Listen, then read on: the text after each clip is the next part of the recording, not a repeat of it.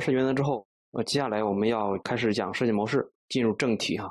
其实大家不要说这个主角姗姗来迟啊，铺垫太多啊之类的话，这个很正常哈。就是闲聊两句，比如说你看没看过那个《水浒传》，看没看过《三国演义》，看没看过《西游记》，这里面的主角都是很晚才出来，《水浒传》里面的宋江到后面才出来，啊，《三国演义》里面那个诸葛亮也是后面才出来。啊，《西游记》里面的唐僧也是后面才出来，对吧？前面都是很多的铺垫。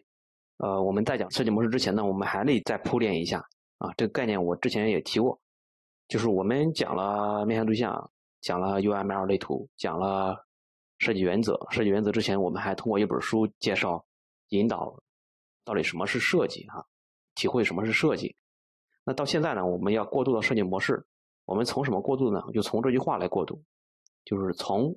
设计到模式，啊，设计模式这个东西啊，它虽然是四个字，但是它是两个词，你不要以为它是一个词。顾名思义，你从名字上理解，设计模式应该也是分开的，对吧？设计是设计，模式是模式啊。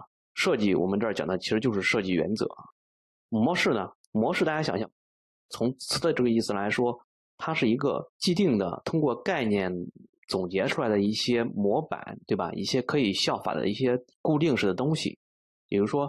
设计原则它是一个统一的指导思想，那设计模式呢？它就是根据这个指导思想，然后结合我们日常的开发经验，啊，由那么几个很牛的作者总结出来的，我们在日常的开发中应该用到的一些固定的一些样式，对吧？固定的一些模板啊，就是既定的一些东西。所以说这两个词应该是分开，啊，分开呢，我们还得有一个关联，不能光分开就散伙，对吧？这关联呢，就是说从设计到模式。从认知上要有一个过渡啊，就是你要首先了解设计原则啊，再了解设计模式。这个时候为什么要分开呢？我们做一个不恰当的比喻，假如说哈，你有很少的时间学习设计模式啊，比如说你就有一小时的时间让你学习，学习完之后你就去讲，这样的话你应该干嘛呢？